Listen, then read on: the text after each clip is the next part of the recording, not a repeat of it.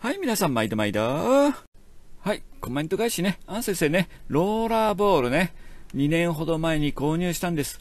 2年ぐらいだからね。で、毎日使ってるわけじゃなかったら結構持つんじゃない？うちの実家は何回も喋ってるけどね、毎日使ってるってのを1日2回も3回も回してるんじゃない ?10 分、20分ね。それで6年ぐらい持つんだから、1週間に2、3回しか使わないね。マニキアの時だけかな。トリートメントの時も使うかな。その程度の使い方だったらね。まあ、10年ぐらい持つんじゃない？で、古い20年近く使ってたやつ、まあ、処分しちゃったのかな？もったいない。くれよって言ってよ。昨日黒くシール貼ったやつなんかもっと使ってっかんね。中古で買ってもっと使ってっかんね。で、相変わらずね、まあデジタルパーマね。デジタルパーマの対象になる方ってのは本当に少ないっていうかね、ほぼ演出だからね、デジタルパーマはね、本当になくてもね、全然商売できるんだけど、ただ演出っつうの？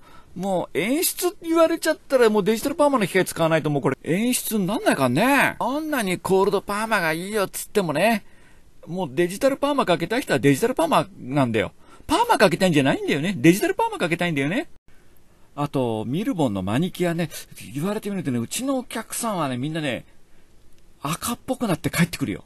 2ヶ月後、1ヶ月後。まあ言われてみるとオレンジが残ってる感じそれはあの、ホログランだけどね。今の新型の前のタイプなんだけどね。だ使う色によってもあれなのかもしんないね。女の先生はね、この色に対するこだわり強いからね。いまいちつかめません。もうダメってことなんだよね。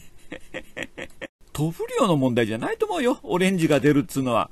多くたって少なくたってオレンジが強く出るタイプなんじゃないのまあ、男の我々はね、何回も言うけどね、こんなマニキュアの色ね、微妙なとこなんかもう誤差の範囲、ちょっとぐらい黄色くたって赤くたって一緒じゃねえかと思うけどね、やっぱり女性の先生はね、やっぱり厳しいよね、色に対してね。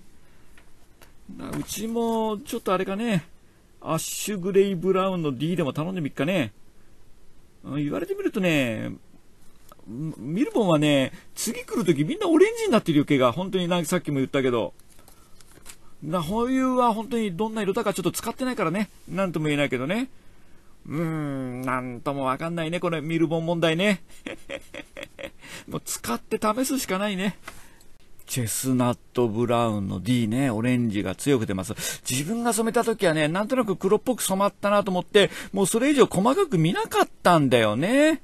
でも女性の人はそっから先見るんだよね。自分もね、なんか言われてみるとね、真っ黒の中に何かオレンジを感じたような感じねえような、もう一回染めてみてみるけどね、そのチェスナットブラウンのね、あの D のオレンジの加減をね。